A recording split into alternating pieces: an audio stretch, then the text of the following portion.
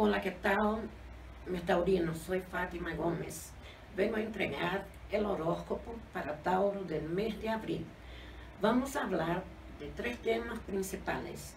Vamos a hablar del amor, que es tema muy importante en nuestra vida, el trabajo y la salud. Vamos a ver, Tauro, cómo te va a ir este mes de abril en el amor. En el amor es momento de entregarse, de disfrutar de la compañía de tu pareja, disfrutar del amor.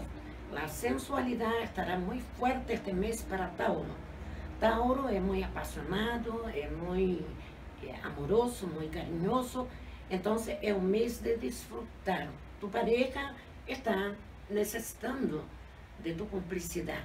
Es momento para disfrutar de la relación, del entendimiento, hacer proyectos, quién sabe hasta asumir compromisos de manera definitiva ahora. El momento en que está para solucionar cualquier problema que pueda tener a nivel de relación. Estos desentendimientos que tenía en el pasado, ya este mes se van a solucionar.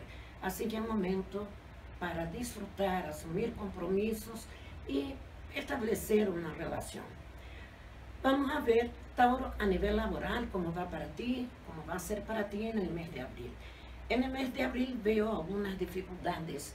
Está finalizando todavía etapas laborales que ha tenido con documentos, papeles, con problemas dentro de tu equipo laboral, pero será una etapa en que va a poder empezar a proyectarse. No es para dejar botados los temas es para estar pendiente, ser responsable, comprometido y tratar de solucionar los problemas que tiene. Va a ser un mes un poco mejor, dentro de mi parecer, para ti en la parte laboral y obviamente que afectará también a tu parte económica. Pero tiene que rever los proyectos, todas las dificultades, todos los documentos que dejaste pendiente y tratar de solucionar este mes para obviamente abrir las puertas y poder tener una etapa laboral más tranquila. Quien está sin trabajo, es momento de buscar trabajo también, reflexionar y ver lo que pasa.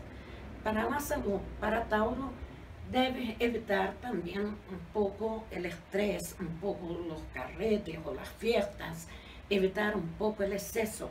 Está necesitando cuidar un poco más de tu cuerpo físico, cuidar un poco más de tu salud y evitar vicios, evitar eh, tomar, evitar cosas que son en exceso y que te va a afectar muy fuertemente a nivel de tu salud. Así que un mes para cuidarte, la parte de salud, tratar de vivir una vida más sana, dedicarte un poquito más al deporte y poder recuperarte bien.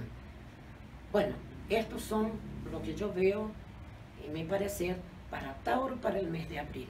Así que suerte para ustedes, nada más.